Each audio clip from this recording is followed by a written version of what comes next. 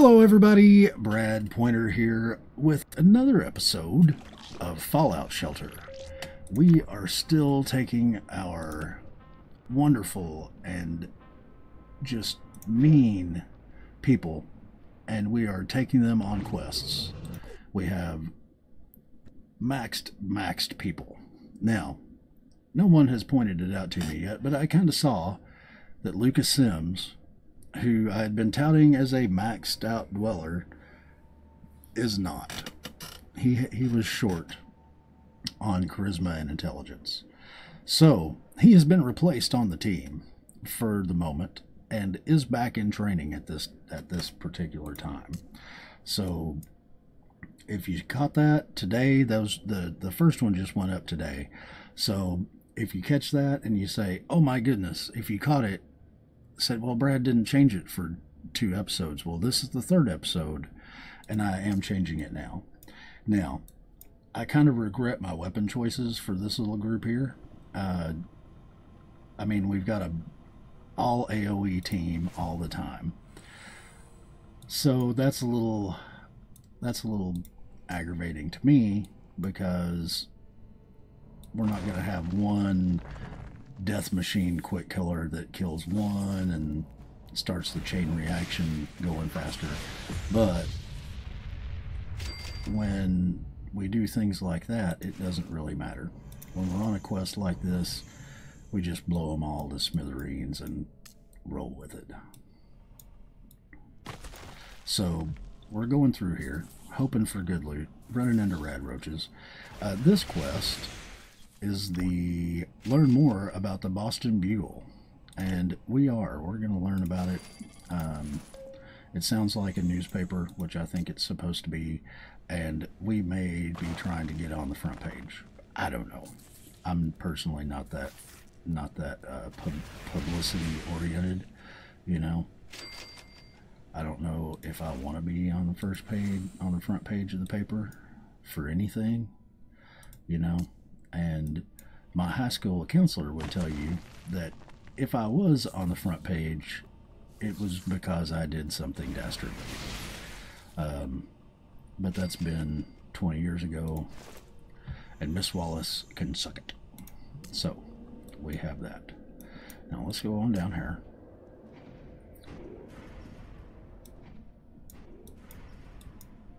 Get on into this little room here. I think I've done all right with my life, considering how lazy I am. oh, my goodness, man. I've unleashed these little buggers on a room full of unsuspecting critters and vermin. They're just, they're not ready for this. They're not ready for the amount of Brad that I'm dishing out to them. Boom! Everybody died, one shot. And then they all went home. So this isn't typical. You know, in case you're just tuning into this series for the first time, uh, this is because I sent, I always send out the best of my dwellers. Um, regardless of the mission level. And I think that this was like the recommended level for this was like level six. So, yeah, if I'd have sent level sixes or level, you know, whatever it was with low level weapons, then yes, this would be more challenging. But we're not about that life. You know, challenging is for tough quests, is for level 50 quests. That's when we want the challenge. For these little things where we're just getting a little you know, namby-pamby, you know, maybe a couple of blues, maybe. I mean, I don't even think we've gotten a blue yet, have we? Let's see. Yeah, we've gotten an enhanced BB gun so far. So, you know, for this, I'm not going to, just for the sake of having a challenge for a crappy loot, I'm just going to plow through these and hope that the next one in the quest chain gives me something cool, which generally it has. These these quest lines that have um, you know a bunch of low level quests generally they still give you something cool towards the end so that's why we're even bothering with these and who knows you know they might sneak in a legendary somewhere you never know if nothing else We know that we don't have to worry about stimpaks ever. Too bad we can't hold more than 55 back at the vault. And I'm not building more rooms just to have more space for stimpaks. I'm just not doing it. Uh, I can stagger my uh, expeditions well enough that in the time that it takes me to build back up to 55 or the 25 that I need to send with with people. Um, generally, I send 25 and 25. As you can see, this time I didn't. It was 25 and 10 or something like that because I didn't have enough of the, uh, what do you call them, to do that. What do you call them? Radaways. Um, this time, you know, because it, it, doesn't matter, you know, in this one. But generally, uh, you can get away with, unless you run into a vault full of ghouls uh, or a vault full of rad scorpion bosses, you probably not going to worry too much about the silly, you know, the radiation damage. Um, now, if you're in level 50, you got a bunch of bunch of ghouls and rad scorpion bosses and stuff, then yeah, you know, I would have probably regretted only bringing 10. But the good news is, is in those missions, they tend to hand you at least a few, a few radaways. Oh, so you're the new kid on the block. Hey, interested in getting your uh, blah blah blah. We don't mind some friendly competition. We're not going in. We don't want to go into the newspaper business. If you're so great, then why is your vault infested with vermin? Yeah, everyone's in the wasteland looking for fame. Who has time for stomping bugs? We have to beat Vault 404. Okay. Hey, do you think I'm overseer material? I, I don't know who asked that. It depends on which one of you ask. If you have to seek validation from me, then obviously not. Well, that's that's kind of a very, you know, turned on and tuned in kind of kind of answer there, buddy. Very uh, philosophical. If you have to ask if you're vaults, if you're that if you're overseer material, then you're probably not. And that reminds me of the guys on the Let's Play Reddit. You know, a lot of them go in there and say, man, I hate my voice. Should I do Let's Plays? You know, hey, I'm I'm not really I'm having trouble recording my first episode. Should I do, you know, what should I do to overcome my fear? Blah, blah, blah, blah, blah. And it's like, well, if you're asking this question, then maybe. I'm not one to crush anybody's dreams. Now, don't get me wrong here. But if you yourself are questioning whether or not you should do it, then maybe you shouldn't. I don't know. You know, and that could be totally terrible advice too, because, you know, everybody has their self doubts. You know, I'm sure Mark Markiplier and Jacksepticeye and Generic B and those kind of guys, I'm sure they said, well, do I really want to, you know, make a video? and other times, I know Jacksepticeye was like, I'm going to do it you know, because I, I don't want to do it. Eh, I can't do a Jacksepticeye. I'm sorry. But, you know, do you think he hesitated? No, he didn't hesitate. He just started doing it and throwing them up there and was like, geez, these suck. And then he got better and better until now he's got like a bazillion things. So that's kind of, I know that that was a tangent, but that that's kind of what that reminds me of. Um, that little saying that he said. You know, if you have to ask, if you got to valid, seek validation from me, then the answer is probably no. Well, if you have to seek validation from a group of strangers who have never heard your voice or who have never experienced you playing a video game to see if it's any good or not, then maybe you've answered your own question and you're just wanting someone to say it's okay to not follow through on an idea that you have.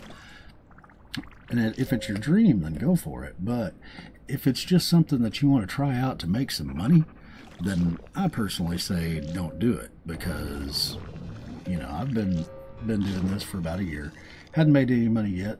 And you know what? It's because I don't care. I don't care about marketing myself. I don't care about going out and doing all that stuff. But let's let me shut up and get back to the thing at hand. Oh, sometimes I get off on a tangent, as you may or may not be aware, depending on how many of my videos that you've watched. Uh, time for a grand slam. We're looking for Racky Robinson's baseball jersey. No relation to Jackie Robinson whatsoever. As you can see, they have different last names. Um, so here we go. Jackie Robinson. If you don't know who he is, look him up. Um, very influential person uh, from his time uh, dealing with baseball and segregation. And, you know, I just, excuse me, I often wonder what sports would be like if things had continued in the way that they that they did in the first you know in the first part of the 20th century. I don't think we would have had so much so many great athletes coming out of the 20th century if everybody would have stayed so you know i don't know racist. Let's just put it let's just say that. Uh, i don't think that that things would have would have played out very well you know? And maybe that's a good thing. I'm not much on sports so you know maybe if they hadn't maybe you know everybody would not be watching it anymore because they sucked. Look at all those white boys out there playing basketball. This is the most shameful thing i've ever seen.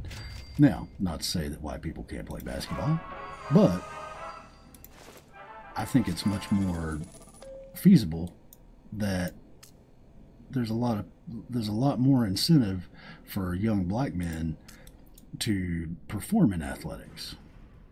And that's one of the things you know like little white kids are like oh grow up and be a, a doctor or a lawyer. And young black kids i don't know this from personal experience because i'm not a young black kid but i'm assuming that they get a lot of advice you know you know, ooh, you should you should work out and train hard and become an athlete. You know, so a lot of it is cultural. Boom. Oh man, starting out the suck early on today's episode.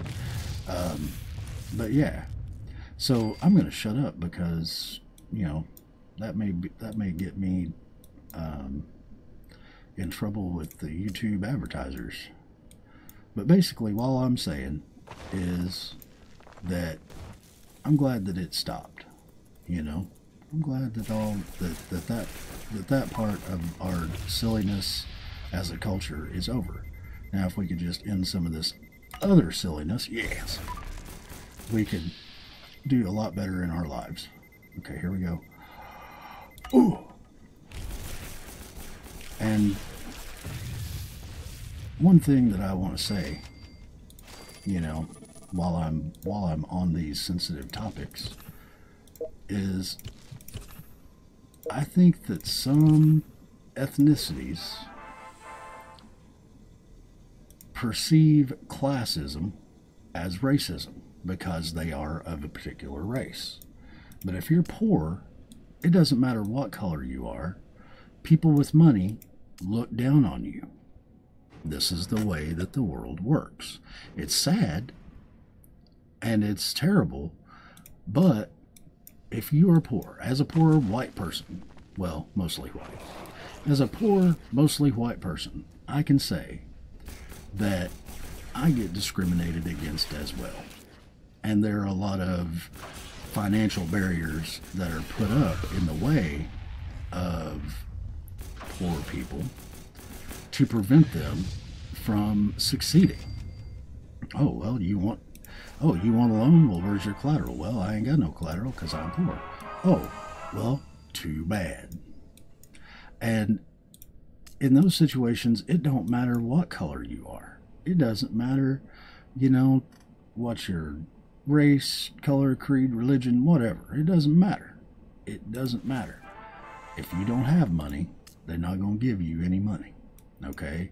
And you, you don't have money, you're not to you're probably not to go get a bunch of investors together to invest in a business idea that you had because they're like, well, if this guy was any good at business ideas, why is he poor? And it's a self, you know, self-fulfilling prophecy or something like that. It's a, you know, basically a a a cycle, a a spiral of of hey, you can't, you don't have it, so you can't get it, so you don't have it, so you can't get it. So that's that's kind of, I, I think that that it's it's. I mean, I'm not saying that racism doesn't exist. Believe me, I'm from Arkansas. I know it exists in spades, and I know firsthand in you know seeing the way that some of the people in this area act towards you know different folks it's it's shameful. And i know it exists and i've seen it and you know i don't like it. You made it. So i guess you found my note. I'm henrietta. Hello henrietta. I hear you're looking for looking for racky jobinson's jersey. Well coach has it. Well who's coach? I loved him once you know but he's nothing but a cheating jerk oh my goodness drama here, use this to kill Coach and tell him Henrietta said hello. Okay. Hmm. What is that? What is that?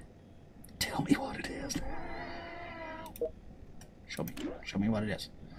Oh, it's it's a plasma thrower.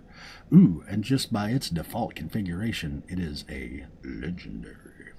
So it's not better than that. It's not better than anything we've got right now, but it's better than some of our other stuff. So you better believe that that's coming out in the next mission. I'm about to make the Dragon's Maw, which is, oh, so delicious. It's about to be toasting up people. We got 12 hours to go on that build. So back to the game and off of my, my silliness. To sum up what I was saying, though, not all things that are seen as racism are racism. They are different isms that people perceive that way because they are in both categories. You know, a poor black person may see classism as racism because they're black, where a poor white person is going to say, wait, I'm same color as this cracker. So why they hate not? Why are they not doing things for me? Because it's not. It's because you're poor. It's not because of your color or your religion or any of your other things that we humans tend to use to divide each other into convenient categories. So, off the off the, the soapbox, we will see what's going on. Hold on just a moment. All right, I'm back. Had to sign some permission slips. And it's like, can I just sign one and say, yeah, do whatever for the rest of the year? I don't know. Maybe I'm too laid back as a parent. You know, but maybe I'm pretty sure that the school wouldn't send my kids anywhere where I would that I would care that they would go. You know what I'm saying? And it's not like I'm signing a permission trip. We're going to go bungee jumping. Mm, mm, no. And even then, it'd be like, well, maybe. You know, I don't know. You want to? And, and I may be a bad parent or a good parent from whichever way you want to look at it. But, you know, why not? Why, why 40 permission slips, slips a year? You know, why don't they just say, hey, this is what we've got planned for this year. So put put a check mark mark by everything that you give permission for them to go on, and then sign at the bottom. For more details, please click this link on the website of blah, blah, blah, blah, blah, and we will tell you all about it. But no, I still get a thing with a thing that I have to scribble on. What's up with that, people? It's 2016. I mean, I know this is Arkansas, but we've got some of the some of the coolest state government websites that are out there. You know, some of the most functional. So why not for our for our education? Why not for the kids? Okay, so we did that. We probably got told that we need to go someplace else. Blah blah blah blah blah. The thing about these quests story, meh. But look at this one. This was a good one. We got all kinds of yellow stuff out of this one. Well, that's a happy day. And that gun, ooh, it doesn't it look good? Well, actually, it doesn't. It looks like somebody took an engine block, wrapped some wires around it, and put a handle on it and a stock. But, you know, whatever. It looks still looks cool. All right. Now, for the final one, we're going to have to spend some quantum some of our little quantum stuff is going to have to be spent because it was a long one. It was like, I don't know, 22 hours or something. And I started it last night after we did the thing. Oh, wrong direction. You know, that's what I always worried about, One Direction. They're pretty young to be picking just a specific way to go this early on in their lives. Okay, so here we go. The tale continues. Now, this one, we're chasing down a dog. And I like dogs. I like like dogs. I like pets. And so I really like pets in this game because they are cool. And they do things. So any chance that I get to get a pet, when I first saw this one, I was like, yes. And I was hoping, oh man, they're going to give me a pet for every quest. Nope. So far, they haven't given me one pet yet uh, find the salvage team. And I bet this one isn't going to have one either. Oh, look at this. This is pretty big. All right. And it's getting hot in here because I have to turn the air conditioning off to do my recording because it's loud and obnoxious being a window unit because, once again, I am poor. Um, I am thankful to be that we have window units. That's how poor I am. So, it gets a little warm up here in the in the hillbilly recording studio. Now, would you guys hurry up? Oh yeah, that's right. This one, this one, the one the requirement for the quest was they have to have a laser rifle. You can't take anything but laser rifles, and I was like, man, that ain't cool. And I'm lucky because you know I've got focus laser rifle here the Wazer rifle, which is how I want to pronounce Whaleway rifle all the time, um, and another focus laser rifle. So I've got good laser rifles. I can't complain, but it's still like, man, why I've got all these really hip and groovy firearms, and you guys are making me use, you know, some mid-tier weapons against these boogers, and I don't like that. I want to I want complete ponage and devastation. But, you know, I guess you can't always get what you want. But if you try sometimes, you just might find that there's elevators all over the place in this one. What? Okay. I don't understand you. Look how many elevators there are. Unnecessary side-by-side -side elevators everywhere. And these guys, oh, Yep, it was hiding. See that box? It was hiding. Couldn't see it back here, but hey, you got to peek over here. Peek. Oh, there he is. Okay. Come on, fellers.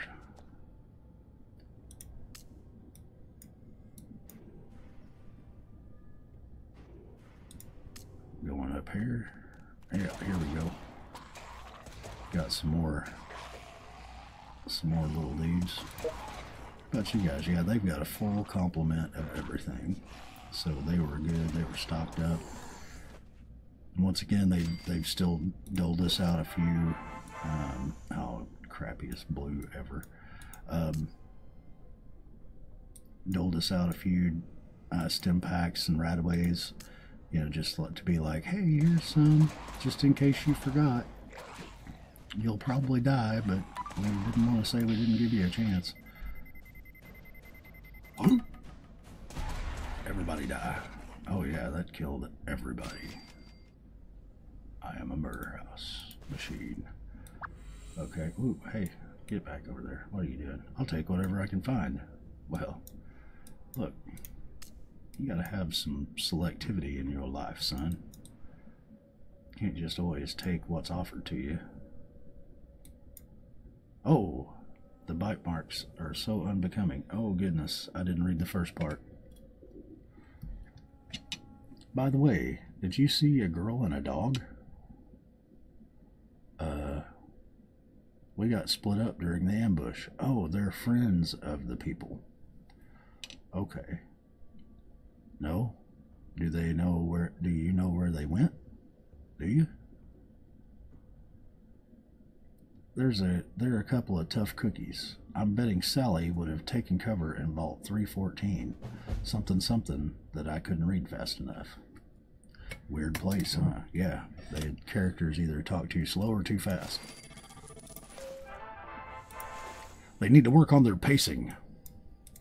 And I don't mean walking back and forth in one area to... I don't know what it accomplishes.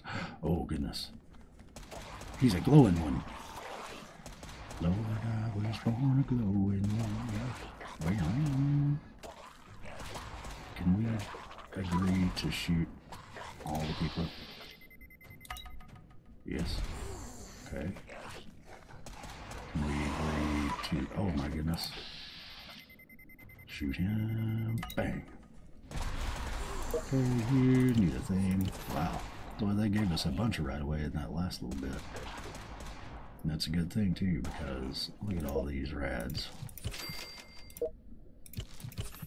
It's like they took my name and said, let's take the B off and then make it like that. Oh yeah. Speak for yourself. I'm having a blast. That's right, buddy. Don't you let anybody tell you that your fun is wrong. Any critters out there? Did you get it? I did. I'm so funny. Okay, so now, man, this is just the ghouliest ghoul haven in the ghoul. I wish we had our big AoE guns that could kill everybody at once. That'd be nice.